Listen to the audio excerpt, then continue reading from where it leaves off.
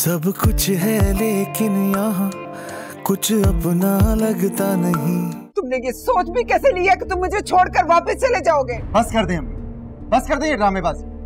ये बर्बाद करके रख दिया आपने मुझे। जलील और रुसवा करवा दिया है। किसी से आँख मिलाने के काबिल नहीं छोड़ा आपने मुझे।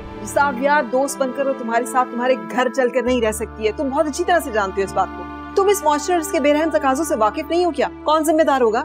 अगर ये मोहल्ले वाले उसकी शादी किसी ऐसे वैसे बंदे से कर देंगे। आप एक काम करें ना। आप जाइए उनके पास, उनसे जाकर बात कीजिए ये और उनसे पूछ लीजिए। वो ये निकाह करने के लिए, ये शादी करने के लिए राज़ी हैं तो ठीक। अगर वो राज़ी होंगी तो मुझे मुझे कोई एतराज़ नहीं होगा। तुम्हारा इस घर में कदम मुबारक हो।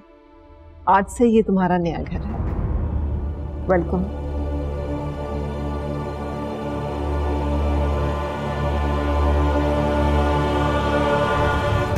रिदा मिलो अपनी नई अम्मी से। जो था कभी सिर्फ़ मेरा अब मेरी सुनता नहीं।